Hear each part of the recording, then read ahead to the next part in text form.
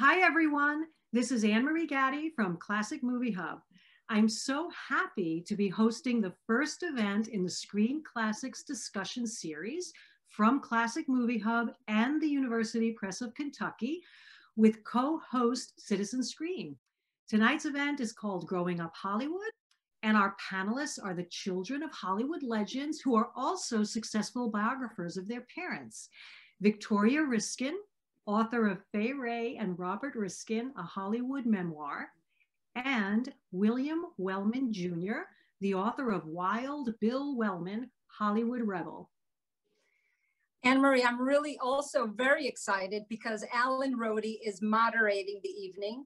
Alan, as everyone may know, is a film scholar. He's a producer. He's the host of the Arthur Lyons Film Noir Festival.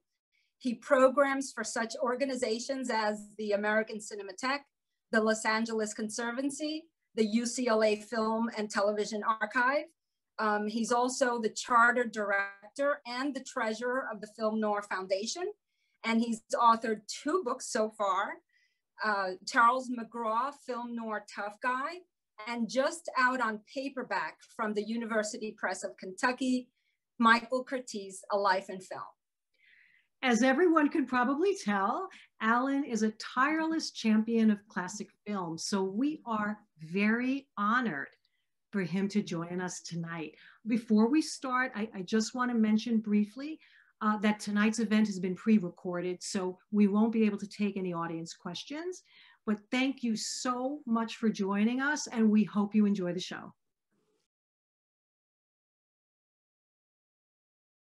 Uh, let me just begin by saying uh, thank you, Anne Marie and, and Aurora, who are going to be broadcasting this event. And for me, it's really a distinct pleasure. And I'd like to introduce uh, our two accomplished guests here. Uh, uh, first is Victoria Riskin, the daughter of Golden Age star Fay Wray and screenwriter Robert Riskin, author of Fay Wray and Robert Riskin, a Hollywood memoir and William Wellman Jr., son of legendary director William Wellman and actress dancer Dorothy Coonan, and author of Wild Bill Wellman, Hollywood Rebel, and indeed he was. So, um, Vicki and Bill, thanks for joining us and in doing this. This is great. And uh, the, the, the topic here is growing up in Hollywood. And uh, needless to say, that was when Hollywood was really Hollywood. Um, uh, both of you grew up and uh, you established yourself and you forged your own careers, uh, impressive careers separate from your parents. Uh, Vicki, starting with you, did your parents' fame make things easier for you or more difficult, or how did that work for you? Yes and no. to start off. Fair answer. Well, let me just say how nice it is to be with Bill, who whose book I loved, and uh, and to be with you, Alan, and, and Thank you. A, a great historian of, of Hollywood. Um, did did their fame make it easier or harder to grow up? I think. Well, first of all, I think um, I, I had two wonderful parents. And as long as I had them and had them together, because my father had a stroke when I was very young. Those early years, I think, laid a wonderful foundation for me, uh, both in terms of they were very bright people, they were very funny, they were kind of magical, uh, and they loved uh, creating a, a magical environment for their children. So that part made it uh, pretty wonderful. At the same time, uh, you know, in the beginning, I realized I was a member of a very special club. I don't know if you felt this way, Bill, but wherever I went to school, people would say, "Are your uh, are your parents in the business?" and everybody knew what business that was. There was only one business that counted in Los Angeles or in Hollywood, and that was the movie business. And you would say yes with a certain kind of pride and feeling like you were an insider. Um, but of course, as I got older, it was a little more complicated because as I, this is my psychology background, as I wanted to establish myself, my personality, be my own person, I didn't want to always be the daughter of the famous people or the famous mother or the woman who was in King Kong. I wanted to be just me. And so then it became a little bit of a shackle when I became more self-aware and self-conscious and shy and, you know, wanting to have friends on my own, you know, merit, so to speak. I don't know how it was for you, Bill. The, the analysis is beginning now. You understand that. how did it work for you, Bill? with your with your uh, parents, particularly your dad, because I know you went on location and did a lot of things with him. Well, there were so many celebrities in the neighborhood. I mean, we we moved into this particular neighborhood in 1935, and there was only one film person in the neighborhood besides my father at that time, Milton Sills, a, a silent era. He uh, he was there, and then within I was born in 37 so by 1938 or 1939, they were coming in in, in busloads. Because originally the stars and the filmmakers they wanted to be close to the studios that they worked at. But after a while they said you know we want to work at the studios but we don't want to live here. And they started moving out to brentwood and malibu and places like that. So i grew up these were the people in my neighborhood. And I'm only talking two streets to the west, two streets to the east, and six blocks north of Sunset Boulevard. That's within that area. There was the Henry Fonda family, there was Tyrone Power, there was Gary Cooper, Van Johnson, I'm moving up the street. There were the Andrew sisters. There was Cesar Romero. There was John Payne married to Gloria DeHaven. there was Gene Fowler, the writer. And above him was Robert Walker married to Jennifer Jones. There was Lana Turner. And now coming back down Barrington, there was Fred MacMurray. There was Frank Capra. Now that was all on the west side. Now on the east side, we had Peter Lawford, Red Skelton, Bob Crosby, Bing Crosby's brother. There was Xavier Cugat. There were the Dicks, Richard Dix, Irene Dunne, and my favorite of all of them, Hopalong Cassidy. That was my neighborhood. Bill, so it sounds like you could have held the Oscars in your backyard. well, you know, and and when those that had children, you know, the Capras, you know, I, I hung out with the Capras and, you mm-hmm. know, so we all kind of knew each other. So it was like, we, th- I thought till I was about 12 or 13, these people were in everybody's neighborhood. so, but Bill, as Bill, as you grew up, did you find carrying your father's name to be a help in your own career or a hindrance, or like Victoria, it was both good and bad? Well, it was more good, but there was some bad to it. Um, primarily because I loved my father and I think he was a great director. But he he was somebody who he could cause a lot of problems. He had fights with producers, he had fights with actors, and I mean fist fights. Um, there were studio uh, moguls that didn't want him around. So, I mean, I come into this and they go, William Wellman Jr., what the hell is this? You know, so there was a lot of skepticism about me. Mm-hmm. Um, and I never knew when I met some celebrity whether they had gotten along with my father or not. And, and you know, a lot of times I would be very surprised, like the time that I met Anthony Quinn and this was at the Ojai Valley Inn and Country Club, uh, a little bit north of Los Angeles. My father loved it and he used to take the whole family there on vacations. And so here's Anthony Quinn, and I'm a, I'm a fan, and I I'm like 13 or something, and I walk over to him and and introduce myself, and he looks at me and turns and walks away and say, "Get away from me." and I thought, what happened? And I went to my dad. I said, what's this with Anthony Quinn? That son of a. now, Anthony Quinn worked in the Oxbow incident, and mm-hmm. they had no problem in that. But this was Buffalo Bill just a few years later.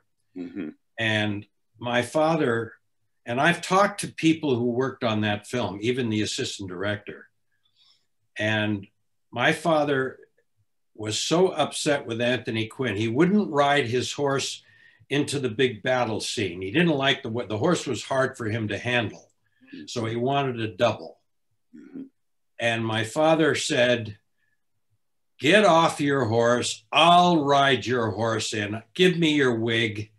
You know, because Anthony Quinn is playing a, an Indian, mm-hmm. and eventually they had a fist fight. So Anthony Quinn was not too happy to have Bill Wellman Jr. anywhere near him. And this happened to be on a fairly regular basis with people. And then there were other people who loved my father. Yeah. They would, Loretta Young grabbed me and hugged me and wouldn't let go of me, you know? So that's, that's I would I would say that's definitely an attribute. I, I still think, you know, uh, it was more of an attribute, certainly as, as a campaigning young actor, the fact that I had that name, people mm-hmm. paid attention to it. So the point is, I better be doing good work because I'm going to be scrutinized, you know, 100% right away. Yeah, you know, uh, both of you, what struck me in both of your books was how family oriented your parents were both your parents. And I remember my good friend David Ladd, Alan Ladd's son, saying, You know, I'm always grateful that my parents brought us up normal, quote unquote. And uh, so, were either of you conscious, uh, like with a split personality, like for Vicky, uh, you had your mom and then you had Fay Wray. Is that how it worked? Yeah, I think it did. Well, split personality might be a strong term. Uh, right. But there was mom at home. She loved to be in the kitchen puttering around. She was a good cook. Uh, when she packed me up to go to summer camp, we went, you know, got the, they usually have what they call lockers, you know, foot lockers. And mm-hmm. uh, we picked out my clothes and she sewed my name in every single one of them. She, she loved, uh, she made me fresh orange juice for breakfast every single morning. Every single morning she made me breakfast when she wasn't working. I mean, she really loved being a mom that way. And yet, of course, there were times when she would have to go off and work and she would leave me a little note, you know, have a wonderful day. But then we would go to the supermarket together and I'd be intent on getting a certain candy bar. And uh, someone would stop her in the produce department and say, Oh my God, I loved every movie you've ever been in. And they would name every movie and they would, and she would turn on the, the movie star person, what I call a movie star personality. And her, her diction would change just slightly. You know, it would be a little bit more that Atlantic accent that actors used uh, in in uh, the 1940s, and it's so lovely to meet you, and thank you so much for your. And mm-hmm. then they would ask for an autograph. Well, you can imagine. I just thought this was. I'd be tearing my hair out because I wanted to move on and get my candy bar, and they were not interested in me, or they might say, "Do you have a lovely little girl?" and push me aside, you know. she was navigating all of that, trying to be gracious and at the right. same time move move on. But there was a definite personality that lit up uh, when we went out for dinner at Chasen's or some of the Espagos or some of the places in Hollywood that were famous.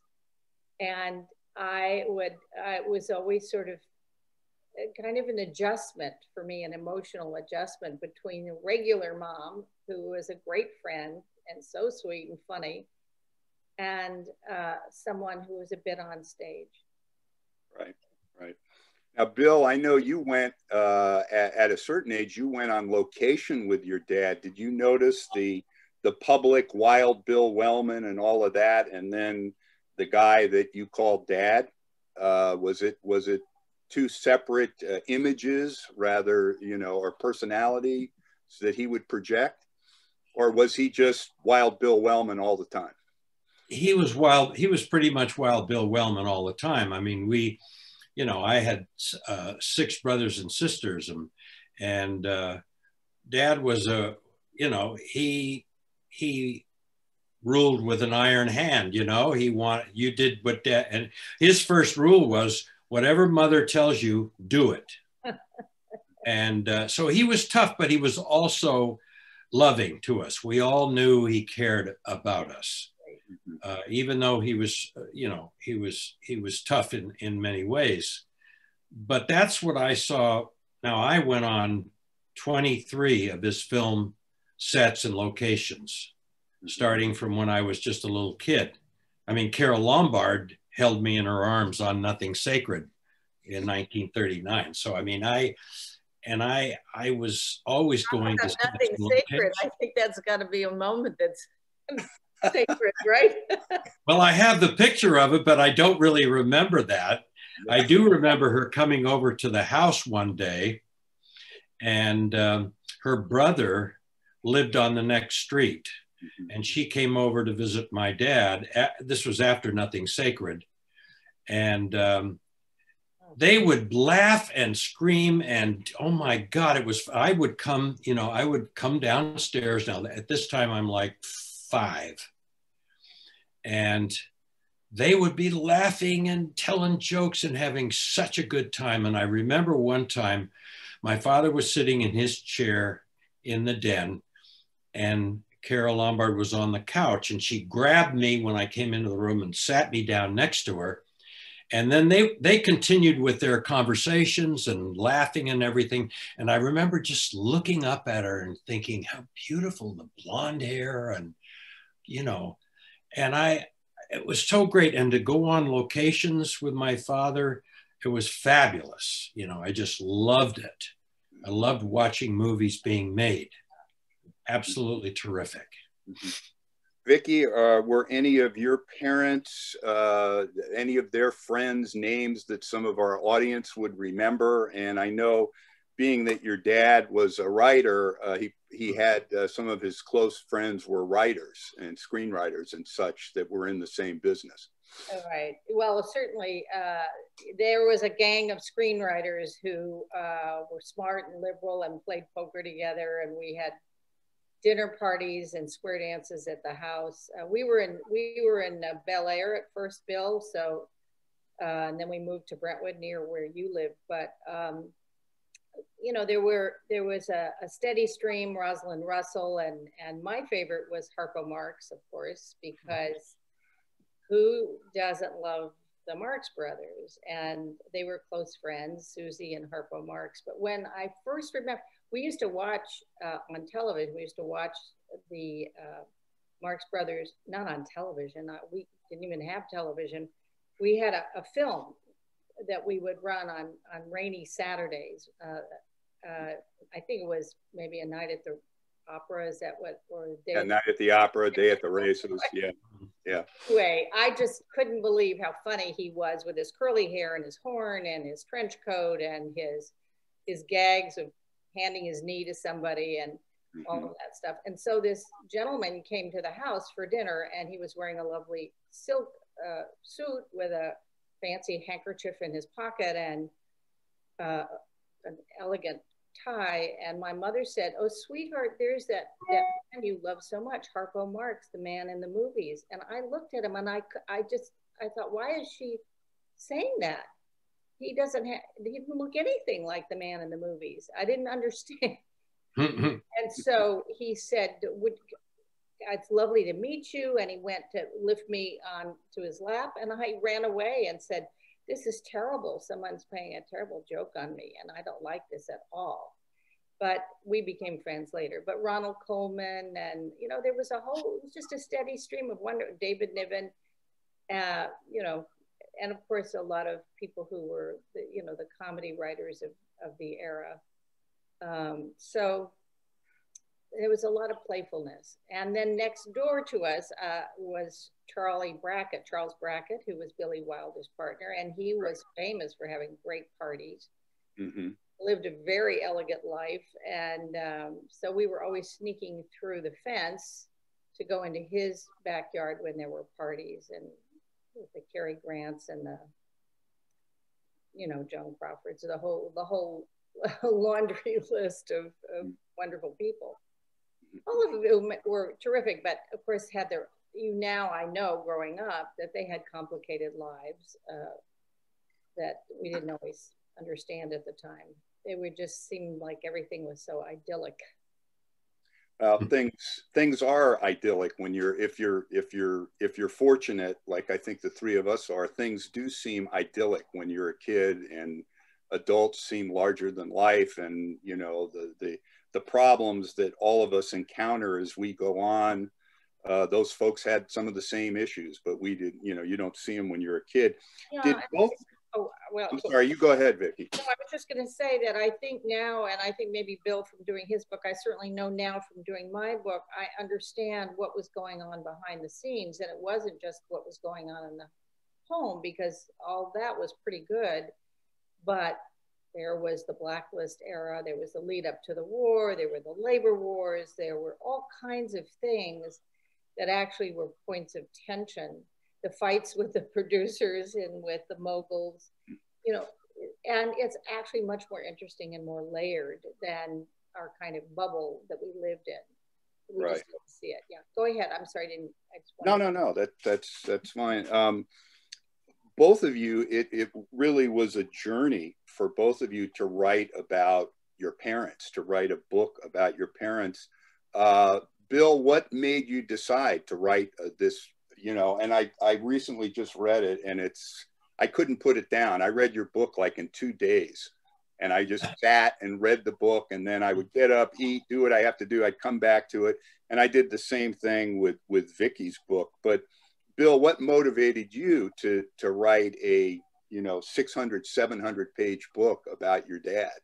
Um, uh, I mean, well, I, I, know the I answer have, to this, but I want you to tell it. well, I have to. I have to go back to when I, you know, as as an actor. I remember in 1965, I was starring in a movie being made at Columbia Studios, the only movie that was being made at the time. Winter a Go Go. You can imagine that. and I met the head of the studio, Mike Frankovich, and the the executives had no place to go except to come down and watch Winter a Go-Go being shot because it was the only movie being made there at the time. But I decided at that time that I here was an opportunity. I had met the head of the studio. He would come down on the set. And I went to him and I said, you know, I would like to do something for my father. I don't think he gets the recognition that he deserves. And I'd like to do, uh, I'd like to write a book about him. Um, I'd like to do a documentary about him. And Frankovich was very nice about it. He says, well, he says, uh, let's think about that. Um, but nothing really happened. And from that point on, I wrote, I started writing and I wrote the, uh, a documentary which ended up being made. It took 25 years for it to be made. And it was beautifully made by uh, Todd Robinson and Ken Carlson and myself. We were the three uh, amigos to make this documentary. And I continued on to write two books about my father, all the time wanting to get the recognition for him. Now, in nine, let's see, 1970, three, I believe, uh, no one had ever done uh, a documentary about his life. And I wanted to get one done. And I started working on it. And I was talking to all kinds of people John Wayne, Gregory Peck, you name it. And my father said, What the hell are you doing, Bill? No one cares about that. I said, Well, I do, you know. So he really wasn't but he got when I when it finally got done, um, the documentary, not the documentary, but I got his uh, a retrospective of his work. This is the first and only thing I got done during his lifetime. mm-hmm. and we showed I think it was 38 or 39 movies mm-hmm. at a at a public theater. Mm-hmm. And Jimmy Cagney came out from Martha's Vineyard, and we had a big gathering at Chasen's, and um, the uh, theater showed all these films of my father's, and he got on stage, and and incidentally, he was so funny when he would be on stage in front of an audience because he would always say things that you'd duck. You'd go oh my god dad why are you saying that? But he he could not direct himself. He said whatever came into his mind no filter. And a lot of times they might be embarrassing to someone else but he said what he thought you know? Yeah. Vicki uh, so anyway. when you wrote about your mom and dad i think one of the real poignant parts of your book for me were the letters that your dad and mom wrote back and forth during the war. Was this really a voyage of discovery and finding out uh, the dimension of your parents' love for one another and their relationship in, in doing that research and then writing about it? Yeah, it was. Um, I, I had to ease my way up to those letters because my mother had given me the letters in this leather pouch that I had, tucked away and I had uh, I would periodically pull them out and start to read them. And they were so extraordinary to read. Excuse me, and I would start to cry, and I just put them back in the pouch and put them away. So I I knew the time had come in writing the book to to read through those letters. I had to actually hire someone to transcribe them to to type them out for me.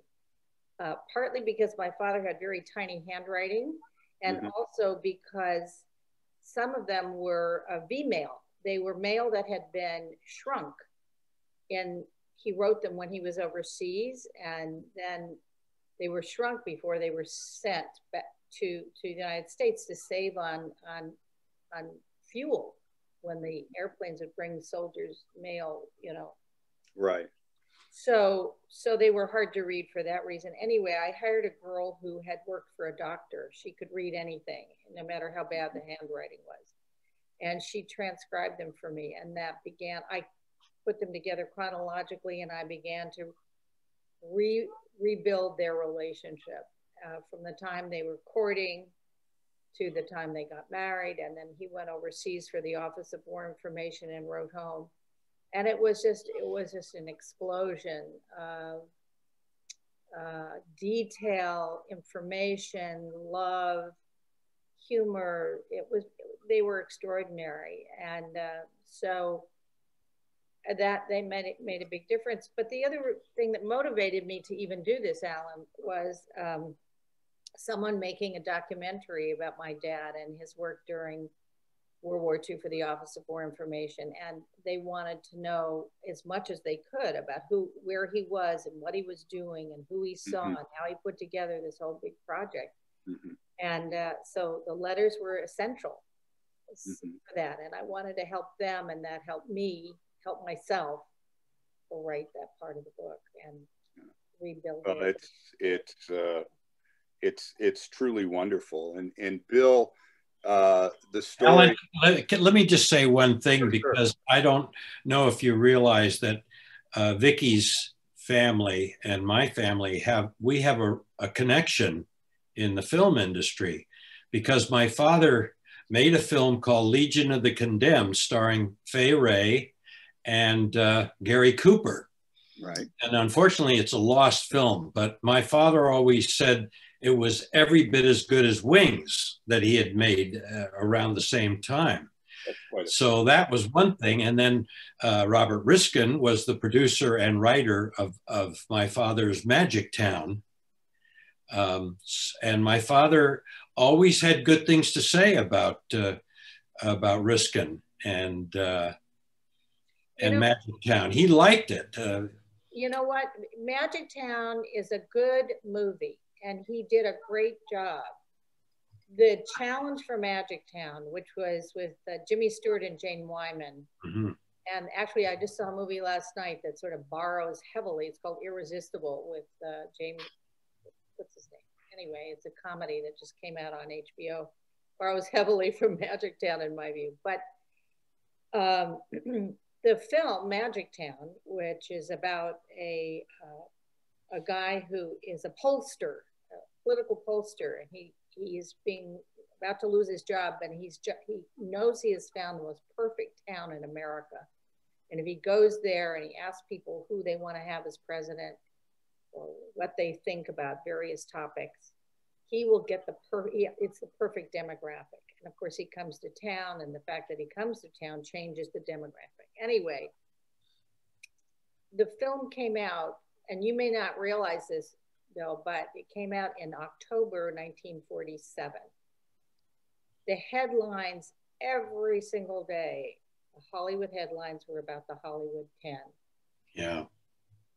So there was no way, I mean, Hollywood was in the trough uh, because of all of the scandal around the blacklist and everybody being hauled in before the HUAC committee. So Magic Town just didn't, couldn't find its little place in the sun and i love it. Someone wants to do a musical out of it by the way. So. no i i think it's i i like it a lot too. And but my father always he kind of joked about it.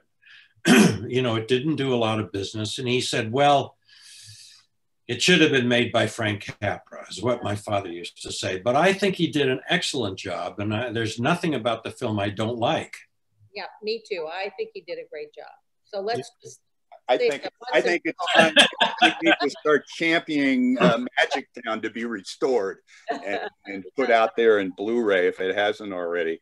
Um, both of you, um, with your parents, uh, did you get involved? I think both of you did in their roots, like going back. Bill, in your case, going back to Boston, where your father grew up, and Vicky, uh, the sentimental trip that you took back to this teeny town in Utah where your mom grew up, Lark. Uh, Vicky, why don't you you talk about that, and then we'll we'll uh, let Bill talk about Boston a little bit. What was well, that experience I, like uh, with your mom? Not only did I write about Lark, I actually went to Lark, which right, is, was right. a mining town. It was a town that was established because of the Kennecott mines, copper mines. And the only job my grandfather could get was as the night foreman in this little dusty, miserable town. And uh, but my mother was there. She wasn't born there, but she grew. There were her seminal years, six to twelve or so. She she was in this little town. I had a big influence on her. They were quite poor, and um, and it was humiliating for her mother to have been in those circumstances because her mother had had a college degree, unusual in mm-hmm. the late 1800s for a woman to have a teaching degree. She was a very smart, very proud woman. And so this was a tough, tough place. But my mother kind of loved it. You know, it was scrappy and fun and crazy. And, and we, uh, but the Kennecott company uh, didn't need the, the mine closed up and they were going to just level the whole town. So in 1977, my mother and I went to, we flew to Lark. Uh, we flew to Salt Lake City and then drove to Lark. And the fun part about the story is that we got in, we rented a car to drive to Lark. And she says it takes all day to get there. So we better take provisions. Now, my mother's language was starting to change. You know, I was like, I said, does that mean a tuna fish sandwich? And she said, yeah, that means a tuna fish sandwich. We'll take provisions. You know? and we got in the car, and in a 20 minutes down the highway was a sign to Lark. And I said, here it is. She said, oh, no, it takes all day to get there. Well, she'd gone in horse and by horse and buggy. and this was a very different journey. Anyway, we went we went to this little now falling apart town except for one woman who refused to move. Uh, and we walked around, and her whole life growing up came alive for me. You know, the sight of the miners coming back at the end of the day with their lanterns, the boarding house where the rough guys lived, and the little building where there was a church and on Sunday nights, they showed movies. And someone put up a bed sheet, and there was a guy at the piano, and they showed the uh, Mary Pickford movies. And I think then she fell in love with the movies, you know, and who wouldn't? I mean, everybody fell in love with the movies at that point. Bill's father and my mother uh, and my father, we all they all started in the silent movies, and uh, of course, Bill's dad made a fabulous transition to the talkies. My mother had to prove that she sounded all right, you know, that she could she could speak. But at the time, she said, "I don't think these talkies are going to succeed because who wants to hear people talk?" so used to seeing the the the theatrics of of of the that was uh, a silent films were really an international language of it, silent films the acting and the music and it was a, a, language all its own that transcended cultures and languages that's right and mary pickford was a, more famous than anybody else in the entire world when she was making mm-hmm. movies so uh, so that was at least uh, my mother's journey, of course, became more complicated. They moved to Salt Lake City. And then uh, a young man, when my mother was 13, 14, my, my mother's older sister had a boyfriend who said, I think I could take Fay to Hollywood and get her in the movies. And she got on the train in her little dress with her little suitcase with this 21 year old young man. And he said to her, you know, it's not your sister I'm in love with, it's you. And she was all by herself. And fortunately, nothing terrible happened. But she said, I felt so old and so confused. And yet, you know, when she got to Hollywood, uh, things began to happen for her because she was just, she was a survivor. She was. Yeah. And, and Bill, your, your your father went from Boston to to uh, fighting in the war and so forth. And I know uh, he was very close to his mom, who had a very lived a long life. Did you go back to Boston and revisit some of your uh, father's uh, youthful places and escapades with him as a family? Yeah, I had gone back there before, um, and I was a freshman at Duke University and at semester break, I joined my mother and father uh, in Florida. Uh, my father's brother lived in Palm Beach. And uh, so I went down there and we kind of tooled around and saw sights, you know, and, uh, and Boston. And that was the first time that I, I did all of that. and then I went back again when I finished the documentary, and we showed it at my father's neighborhood theater in Boston. That's great. That was one of the screening events, and that was very special.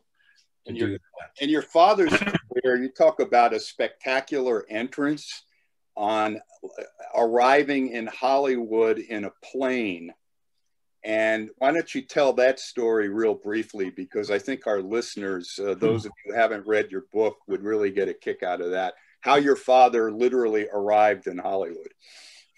Well, he was a fighter pilot in the First World War. He had six major air crashes. And the last one, or the second to the last one, uh, he was pretty busted up. And he came back to the United States and he ended up going to uh, San Diego and being a flight instructor down there at Rockwell Field in San Diego, mm-hmm. wondering about what he was going to do with the rest of his life. Now, he had he had met Douglas Fairbanks when my father was playing ice hockey in Boston, and Fairbanks had said, "Well, if you ever come out to Hollywood, look me up." So my father's down at Rockwell Field. He's kind of gotten over his injuries and he thinks, well, maybe this is the time. And he reads in the newspaper that Douglas Fairbanks is having a big polo party at the Will Rogers polo, polo field. And all of Hollywood's going to be there. Charlie Chaplin, and I mean, uh, Norma Talmadge, all the stars. So he takes his SPAD aircraft down at Rockwell Field and he flies up and lands on the polo field in the middle of a game. The polo ponies are skittering all over the place. My father lands his SPAD, gets out of it, and he's got his best uniform on and all his ribbons and everything and his medal.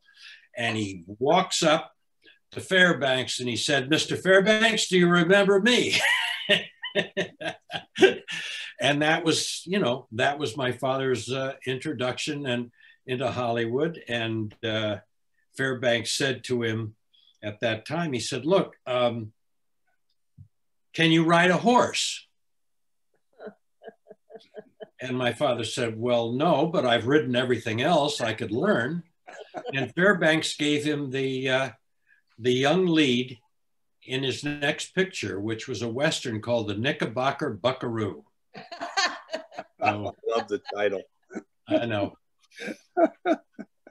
That's that that is a, a, quite a flamboyant entrance. Um, Vicki, you mentioned uh, uh, your parents and their friends and liberal circles. I think one of the things that comes through in both of your books is both your parents, uh, all your parents, both your, yours and Bill's, were very progressive when it came to politics, when it came to race, uh, and that that uh, that type of uh, attitude and mindset certainly wasn't mainstream uh, back when you guys were coming up. Uh, how did their outlook on things like that rub off on both of you? Oh, I think I'm it totally rubbed off on me. I mean, I I think I grew up with the view that it was important to appreciate every human being and care for the little guy. You know, that was that was a theme in all Robert Riskin films. The yeah. Appreciation for the common man, as uh, some have called it. I don't think of anybody as common, but as yeah. regular you know, regular people are good. Right. We should look after each other. That was such a big, you know, part of it was from my family and particularly my father coming from first generation Jewish kid growing up uh, on the Lower East Side and then in Brooklyn. And his parents, his father was a strong progressive, partly because his father worked in gar in the garment factory business. You know, he would come in and do work for two or three. My father said he never knew his father had a steady job, and he probably never did. But he would come in and do piecework, and it was rough. And but at the same time, they were intellectuals. They'd grown up influenced by the Enlightenment of Europe, the, this notion of uh, democracy and fairness uh, and justice. These were all very strong values. So uh, he loved, my dad loved the country. He loved um, the democratic principles. Um, and he, he didn't wear his politics with a strong demo as a Democrat on his sleeve, but he was a Democrat. He loved FDR. He thought FDR really cared about uh, rescuing the country. So this influenced every single thing he wrote. There isn't anything he wrote, even in uh, perhaps the the least political is it happened one night. But there you you you have uh, a young woman who's uh, grown up in wealth, and it's frustrating to her. She feels trapped. Mm-hmm. She wants to break out of it, and she falls in love with this kind of charming ne'er do well and um, uh, Clark Gable, but they, there are the social differences. So he's trying. My dad was trying to make the divide and make the bridge. Not saying one side was wrong and the other was right, but but yeah. blend together the country and and then of course, and I'd love to hear Bill's view on this. If his dad went through what what um, my, my, you know they were the labor wars were powerful in Hollywood. People mm-hmm. were really fighting for a fair deal, for fair compensation, not to be owned by the studios, to have some agency mm-hmm. of their own, be respected. not to have Michael Curtiz work you seven days a week, 15 hours a day yeah. before the formation of the Screen Actors Guild.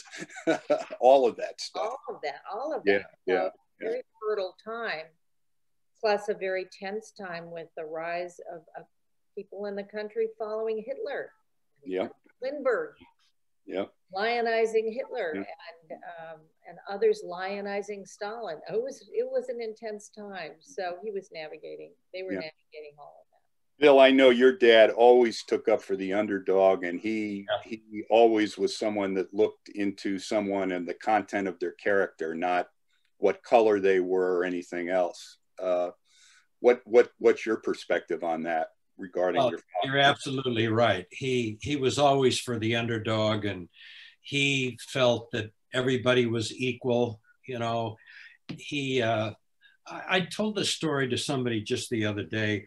When I was five years old, uh, now we're living in Brentwood. Right. And my father uh, knew the people that lived at the top of the street. And they had a, uh, a black uh, chauffeur, and the chauffeur's wife was the cook of this family. Mm-hmm. And they, my father was up there one time, and the and the couple that did the you know the housework and everything, they were concerned because their little boy, um, they didn't know what to do with him. They spent so much time up at this at this house taking care of things. And my father said, Well, who's your boy? And he says, well, His name is Georgie and he's a little black kid, five years old. And my father said, "Well, drop him off at my house. I'm I'm on the street just below where you're going, and he can play with my boy Bill." So they did that, and for a long time, and and Georgie and I were pals. We were both five years old, and I I love the fact that I had that, and I don't know if my father had the intent of wanting me to be an unprejudiced type of individual, but it certainly worked because this Georgie was my friend. Yeah. And so I never, I never had another. When I went to Duke, uh, this is during segregation and everything in the fifties. I, I, you know, I, I was very unhappy with with a lot of that, mm-hmm. and I think it stems from the fact that my my best friend was a black kid, and your father also, I remember reading, he gave Sidney Poitier, cast him in one of Sidney's early films. And then uh, there was an incident where the hotel wouldn't, they wouldn't let him stay at a hotel where they were shooting the film. And uh, your father made sure that he ate with him or something. What was the, what was the yeah, story? yeah. Well, they, they wouldn't let Sidney stay at the hotel with the company. And they put him up at a, a black college that was just outside of, of, of the town. Uh, and my father didn't like it when he heard about that. And uh, so he said to the manager of the hotel, he said, uh, you know, I don't like this. S- Sidney's a member of our of our company. You know, I want him here. So the guy said, well, he can eat in the kitchen. Oh my gosh you know, and my father, you know, was furious. He ended up calling the manager outside and he said, Now, you're going to do one of two things. You're going to make sure that Sidney stays here at the hotel, or I'm going to knock you on your ass right now. You know, he was guy. furious about the whole thing. so they didn't let Sidney stay in the hotel, but my father said, okay. And my father ate in the kitchen with Sidney. And he was just furious about the whole thing. He, he didn't like it. He didn't understand it. And he, he was ready to fight for it. And Sidney told me that, you know, when we did the documentary, and I, I had Sidney uh, do it on camera for us. And I wanted him to tell that story. And he wouldn't tell it exactly the way the way it was but he did say that you know how much he appreciated the way my father treated him. But he wouldn't go into the details which he could have about eating in the kitchen and all that. But i guess yeah. a little heavy you know. Right. So my father, you know, my father was so unprejudiced. It was just unbelievable. And politically, that's another funny thing because he was a registered Republican, but he would cross the aisle if he saw a better man. He he was not stuck into the party. And people thought for a long time when he was doing all those films with John Wayne, and John Wayne, who's the you know the the, the aggressive Republican guy, yeah. thinking my father, Wild Bill Wellman, well, he's that's the way he is. But my father, I remember he he did a Merv Griffin show, an interview type show on television, and he was and he was saying that uh, he voted for Harry Truman no, over Thomas Dewey. He voted for the Democrat. He started to talk about the candidates that he voted for that weren't Republicans, mm-hmm. you know, and and that was just the way he was. He he wanted to find the best man for the job.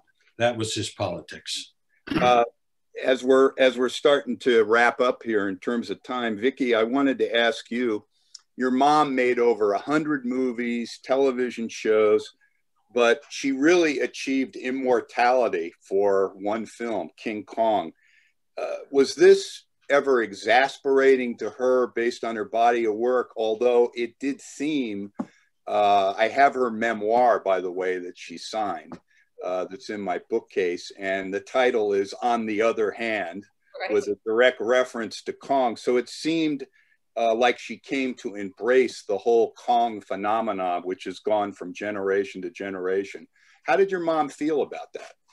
Yeah, I think she went through different uh, feelings over time. Um, at the time she made King Kong that year, she made 10 other films, and uh, including Dr. X and Mystery of the Wax Museum and Most Dangerous Game. I, I think she, at that time felt, oh, I'd love to do some other kind of film where I'm not being pursued by.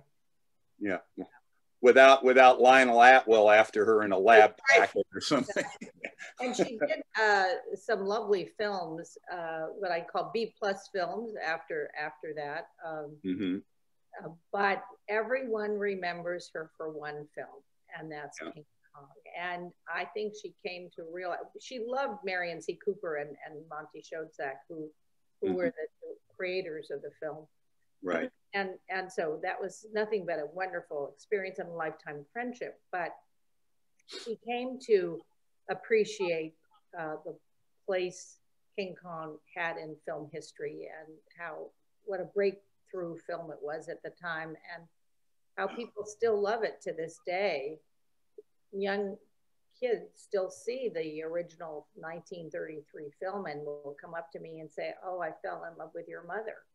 So it has an enduring, it's just absolutely endured. So, so later, uh, as she was living in New York and not working anymore, she used to say, I every once in a while, while walk by the Empire State Building and look up and say, you know, a good friend of mine died up there she found many wonderful ways. She wrote about my New York and the the New York Magazine, New York Times Magazine section, and about her relationship to the city and to the Empire State Building and to Kong.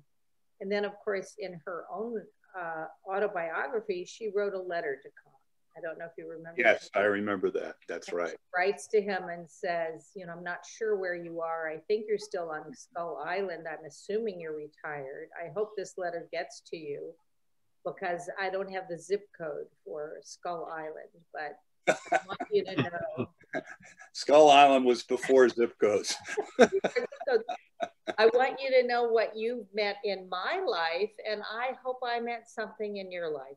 So she was kind of uh, wonderfully playful and imaginative with the whole Kong uh, experience, legend, and history. And then naturally, at the end of her life, she was invited to all of these wonderful uh, film festivals mm-hmm. where she came out on stage, you know, as the great legendary Fay Wray. And without King Kong, I'm not sure she would have been as legendary. Yeah. I remember Billy Crystal introducing her at the Oscars, and she was in like the fourth or fifth row near the front, and she got this tremendous affectionate ovation. Yeah. which must have been very Well, sweet. it was, you know, it was, I- she was, I, I was in love with, with Fay Wray from that picture. Uh, I just love that picture and it's such a powerful picture. Uh, I know it's difficult, you know, in all the films that she did, but, but that's what people remember because it was, Yeah. it made such an impression and not just on one generation, but generation after generation after generation Mhm. uh, the picture is fabulous and she's beautiful and fabulous in the picture it just It's uh, we showed it at the the Hollywood Legion Drive-In that I'm involved in. We showed it like a couple nights ago, and it was sold out. I mean, Yeah. it, it's just it, it is an eternal it is an eternal movie. Bill, your father's movies, uh, did he have a favorite? And I'll say for me, the two movies of your father's that that are special to me are the Oxbow incident and the story of GI Joe. well Those two. those are my father's those were my father's favorites too There you go. those There were his go. favorite films there's no question about it and They're- th- these are these are like similar to Kong. These are the films that, no matter how technology has changed and uh, everything has changed so much in our culture, when you watch films like King Kong uh, with Fay and those films, those films of your fathers, they they just uh, stand the test of time. And I know he he essentially had to make a, a real cutthroat deal with Darryl Zanuck just to make the Oxbow incident, correct? yeah it took a long time. Uh, he uh, the writer i'm trying to think of the the man who wrote the book the oxbow incident. He uh, found my, my father was on a vacation at the arrowhead hot springs hotel with my mother and this uh, producer I'm, I'm i'm blanking on the name he wanted to get this movie made, The Oxbow Incident. So he came with a book and gave it to my father at the at the hotel. Mhm. And my father read it and loved it. And when he came back, he wanted to make that film. But nobody wanted to make that film. The hanging of innocent men. I mean, no one wanted to make that film. Yeah. And he finally uh, got Zanuck. He he got Zanuck to read the book. And finally, Zanuck said, "Well, it'll never make a dime, but I want it. I want to make it, and I want to have my name on it." Wow. And so finally, uh, they got it made, and and you know, it was nominated as one of the best pictures for an Academy Award. Mhm. People don't realize it was nominated. And how often does a picture get nominated for Best Picture and no other nominations? That's That- the Oxbow incident. Best Picture, but people said this is a great picture, but we don't know how to cut it up in pieces. You know. Mhm. Anyway, Yeah. Well, So it's Any rate- one, for, one for the ages, no question. it is. It, there's absolutely no question about it. And uh, we're right at an hour. And I think the runtime on this is uh, about 40 minutes. Uh, do you want to keep going or do you want to wrap it up? Up to you guys. I, uh, I just, well, one thing I want to do is say thank you to the University of Kentucky Press Yes. for doing our paperbacks.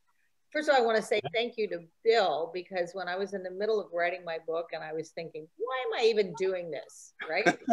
so much trouble, Mhm. so much work. I called him and I, I had an edit. I had, I had the same editor that that Bill had, and I said, "Did you survive? How did you get through this? Because it is a lot of work." And Oh, you- yes. you were very reassuring and encouraging. So thank you to you, Bill. And then, and then um, the University of Kentucky Press did a new cover, which I love because oh, Very nice. nice. it has a picture of Fay and Bob when they were. Oh, great. This is at the Stork Club in New York, Yeah. right? Yeah. And uh, well, you can just see how they look. Yeah, I each other, can. right? I Great. will, I will give I will give equal time to both of you guys, both of you guys, and um, uh, and it's certainly this was really really a pleasure and i'm i'm fond of both of you and there's so much history here and both your books uh, uh, bill's and and vicki yours are just absolutely essential. And it's uh, you know your books will stand the test of time i think like both of your parents movies. Uh, well really, thank you alan. I appreciate and, that. and uh, um, i also want to thank uh, the University of uh, University Press of Kentucky for putting this on, and they published my weighty tome on uh, Michael Curtiz, uh, A Life in Film, and I appreciate them doing this very, very much, and I appreciate them asking me to host this because uh, this, for me, this is this is Nirvana, sitting here talking with you guys. So I really, really appreciate it. Well, thank you. And Vicki, it was nice when I was able to meet you at the uh, Brentwood Country Mart. Remember, you were doing a book signing? I was so honored that you came. I was just thrilled. Thank you. Oh, I didn't I, give you I a was... hug, so I'm giving you a hug now. Yeah, thank you. Cyber Give it back. Give it back. Cyber hugs. Cyber hugs. Cyber hugs. Well, okay. I hope I hope one day comes where the three of us can be together at an event or signing books or doing something as we uh, as we get through this COVID and things more or less return to normal. Uh, but any rate, it's been a joy, and thanks so much for uh, for allowing me to do this with you guys. Thank Stay you. safe, Alan. Stay safe. You too, guys. Okay. Love to both of you. Take care. Bye bye. Bye bye. Thanks so much again for joining us. This is Annmarie Gatti from Classic Movie Hub. And Aurora, Citizen Screen. See you next time.